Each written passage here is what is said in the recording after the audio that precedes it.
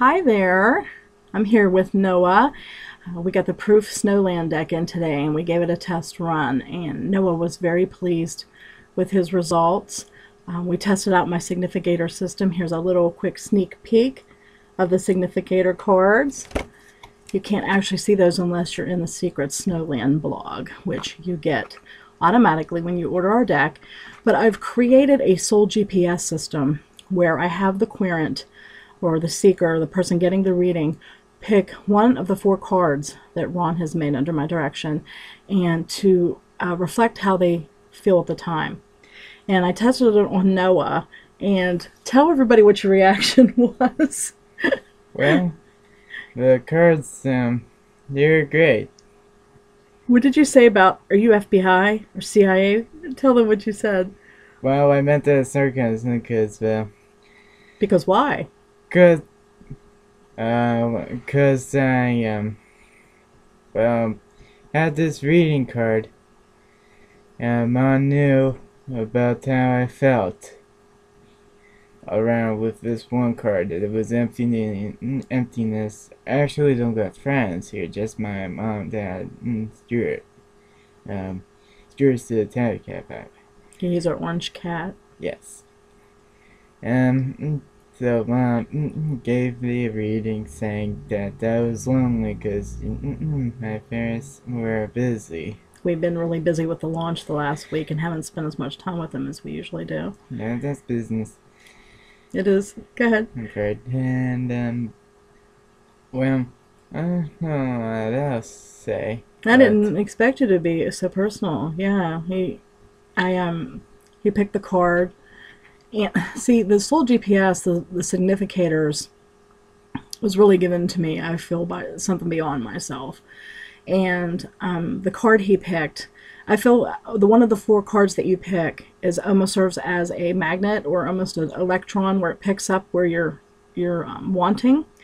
And so I'm able to tell with the four cards that I'm going to teach everybody who orders our deck and belongs to the secret blog how to use this for querents or themselves, the four significator cards, to kind of get a soul GPS location on their uh, querent or a seeker or themselves. They don't necessarily have to divulge the information, especially if a querent um, doesn't say what's wrong and they just said, well, I just want a general reading. Ask them to pick one of the four and you'll know where they're at. And it worked with Noah to the point, if you don't mind me being personal, he agreed. I asked him, I'm not twisting his arm on this. I was like, is this okay? Um, but he got tears in his eyes and he was very moved. And he said, are you CIA? Are you FBI? How are you in my head?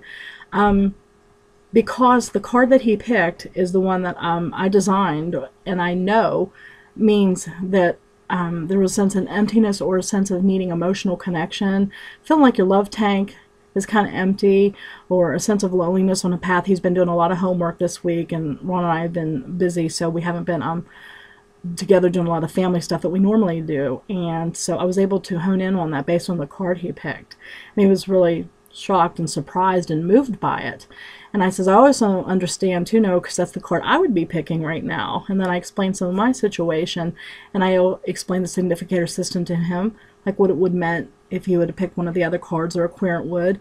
And I was um, trying to decode my, my system for him to, to, demystify it because it does seem like magic.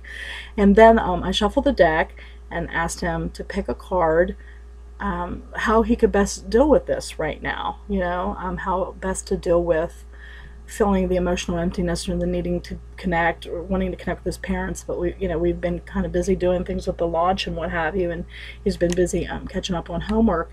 And what card did you draw? Did you draw? Do you remember? Snowball. Oh yeah, well that was a significator. But what card did you pick? Oh, you picked Lucia. Yes. It was interesting, and that um, corresponds to the Queen of Wands, and that's kind of like my card. And so, of course, you know, it was kind of re- reaffirmation that I want to help Noah with his feelings of loneliness and being alone and needing his love tank filled, you know, by doing the tarot reading. And of course, you know, we're spending more time um, later this week, you know, as we wrap up some things that we really needed to do.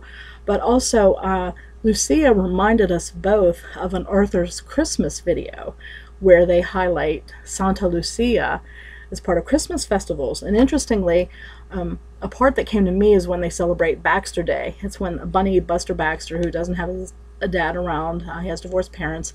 his he and his mom are spending time, and his mom's really worried about the son. So it was really an interesting reflection um, of the card and what you know Noah picked for a significator, and um, how the son and the mother made up their own holiday. They called it Baxter Day. Um, right before Christmas, and Noah, you know, honed in on when they talked about Lucia herself, Santa Lucia, and the Swiss holiday um, and celebrations. And it's interesting too that that is also very family oriented. It's where I think the youngest or the oldest girl comes in and serves the parents breakfast, and of course the young girls parade through town. You know, there's a lead with the candles in her. Um, on our head and the star boys and what have you. So again, it's very famil- familial and love tank and celebratory and um, so it really reflected and prescribed you know how to best deal with that. And um, i had felt the same way. I would have picked the snowball myself the snowball significator. And so i picked a card for me and it was very accurate and i explained to noah uh, well actually noah interpreted it that's right.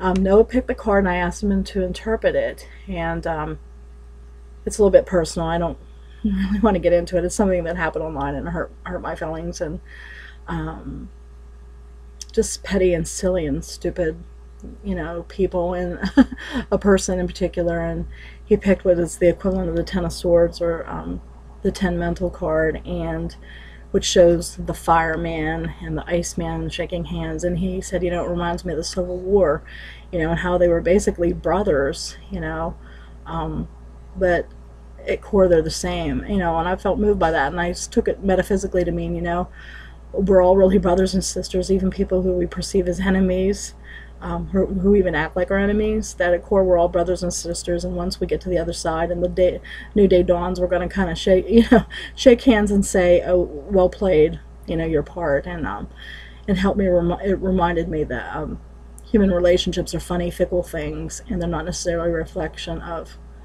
bad or good or, or negative or positive. It's sometimes a soul path and you know to be more spiritually minded. So, in short, our Snowland deck works, and it works beyond our expectations. Um, the cards are are beautiful. They're thick, but they're flexible.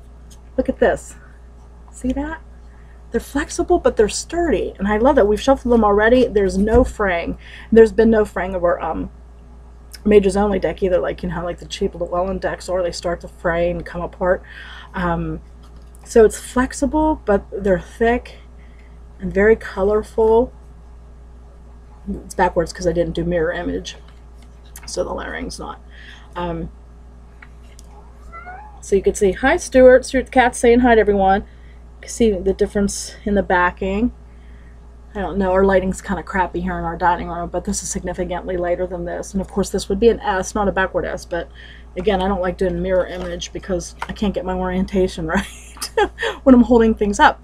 So um, we also want to share with you how this deck can be used for kids. It's 100% kid friendly and kid safe. They're not scary images. Um, they're easily relatable.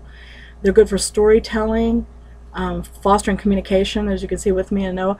Um, oh, Stuart wants to come up. Go ahead, Stuart. You want to come and say hi to everybody? Come on. Here he goes. All right, Stuart's jumping up in his lap. Say hi, Stuart. You want to make your debut? Come on, you want to smile and say hi? Dutch Stuart. Dutch baby Stewie. We love you, buddy. Okay, so would you like to share with people how you feel that kids could use the Snowland deck from your own words and your own experience? Mr. Noah. Well, mm, yes. Go ahead, tell them. um, mm, Just in your own words, how do you think that, you know, kids could use this deck? Well, they could use this deck as, um, well, let's say this. Um, suppose a kid is depressed and needs a mm, card reading.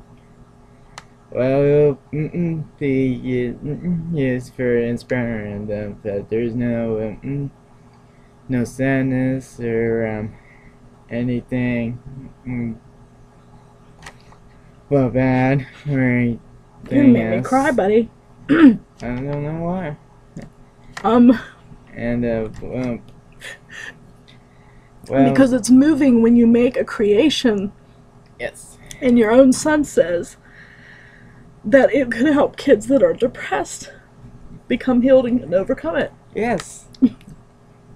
Yeah, Oh God, I'm such a softie. Son of a gun. we are. Yeah, well, all the warriors are big softies. Yes. And, you know, interestingly, and I've never shared this publicly, but I'm going to go ahead and share it now. Um, when I was a Pentecostal minister and I first met Ron about 15 years ago, I used to do prophecies. I was kind of like a Christian John Edward, and I give people prophecies, these scary, accurate things. And not too long after Ron and I were married, and we had married only after being knowing each other for six weeks. It's just one of those, you know, neat soulmate things. But um, I had a prophecy for him that one day um, people would just look at his art and become healed. And he wasn't really doing active art. He wasn't doing anything spiritual or metaphysical at the time. Um, I also said I felt we were going to collaborate in some way. I wasn't even a writer at that point. He wasn't even active in art. I would have never have touched Tarot deck. And so now I we, we're realizing, oh my God, this is the fruition of that prophecy that occurred like 14 years ago. That people would look at the art and be healed because the symbolism that we've embedded in these images that are universal to tarot and um, mythology and fairy tales are what touches our soul. And it is what reflects our life path and, and where we're at. And i am just being moved and touched by these. Um, i did another reading for myself that was just very clear and instantly i knew what it meant. And not just because i know the images very well either. And, and it's a beautiful, colorful, moving, healing deck, and I think it's going to touch a lot of people. So, um, didn't expect to get emotional like this, but I wanted to share it with you um, from a kid's point of view of how it could touch. You know, it can help facilitate communication between parent and child, or for kids that maybe don't um, they don't express themselves easily um, for a developmental delay, or just because they're not very verbal, what have you, or they have a hard time expression emo- expressing emotion, have them look through the deck and say, "Can you pick a card to tell me how you feel?" Or um, when you get our deck and you're part of our Snowland Explorers password protected secret club, I'll show you how to do the significator system, and that'll actually help you zone in right away. And then you can take a prescriptive tarot card reading. Um, and so it could be used for kids for from therapists. Therapists can use it. Um, art teachers, art therapists parents and educators who work with um, autistic children, those on the spectrum, um, children who are, have chronic or terminal illness. Um, there are many ways, you know, that these colorful, beautiful um, images. Oh, I just happened to pick a card randomly, and what do I pick? The card that Noah modeled for. There is the snow angel. He's playing in the snow and he's hearing a higher calling. He's got to get back to work. Darn it. It's okay. Mm. We all have our calling, and one of moved. That's all. I am unmoved, and our snowland deck in support of our higher calling. Didn't intend to do that. Sorry. Anyway, I want to show you our pretty bags. I can pull myself together. Oh, I sewed the charms on it, and um, I left a message for our seamstress to get back to me. She hasn't got back to me yet, but she's got to make another batch of 30 bags. I've ran out. And um, I have enough to fill all the orders. But isn't that beautiful? I don't know if you can see the sparklies. Well, you can see the sparkly charm. And they hold our deck really nicely. And you can pick one of three fabrics. It's double draw- drawstring. So see? Look how nice. Ta-da! And you get one of three fabrics. This is the light blue. This is the royal blue with silver snowflakes. This is Mr. Ron's favorite. And this is the gorgeous ivory brocade, brocade, brocade, I don't know how that's pronounced, but I don't know if you can see it's really thick and beautiful. So you also get that when you order the Snowland deck, one of our three bags. And so, sorry to break down emotionally. I'm just spiritually touched and overwhelmed. Seeing this uh, deck in our hands and seeing how moved I am by it. And I don't know if I'll ever be able to touch and use another tarot deck. totally in love with it. So, um, any final words, Noah? Well, I don't can't think of anything, but Sorry. well, don't know. But you like the deck. Yes. Okay. Yeah. I'm glad that you got a reading today that resonated with you and it helped you. Do you feel better emotionally, by the way? Do you feel like your love tank now is filled up since we talked and had the reading? Well, yes.